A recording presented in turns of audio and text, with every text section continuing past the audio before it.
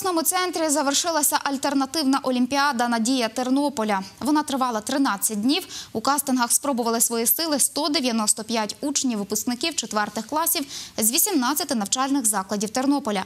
Олімпіаду організували клуб обдарованих школярів Тернополя за допомогою науково-дослідницької лабораторії якості навчання обдарованої дитини, що діє при управлінні освіти Тернополя.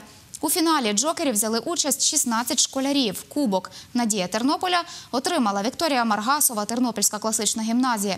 Серед срібних медалістів Вікторія Відяшова, спеціалізована школа номер 5 Андрій Потіха, Арсен Божик, загальноосвітні школи номер 22 і 14.